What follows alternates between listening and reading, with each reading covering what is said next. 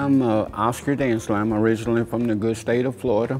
I'm a custodian here at the chapel. I've been here really 18 years, but we closed one year for restoration, so I had to go to the student center, but it's good to be back home. I can't wait for the first student or the first tourist to come through the door, and I'll start up a conversation with them, and, and that just makes my day go better. I'm Oscar. Being on the Julian Abele committee, what it meant to me, first of all, it was a shock when they uh, told me that I was on the committee.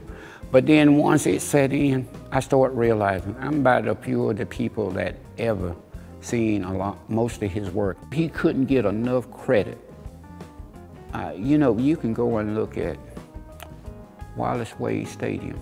Look at Page Auditorium. I mean, he just made it all blend together.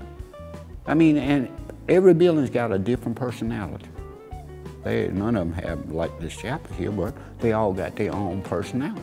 I worked in construction.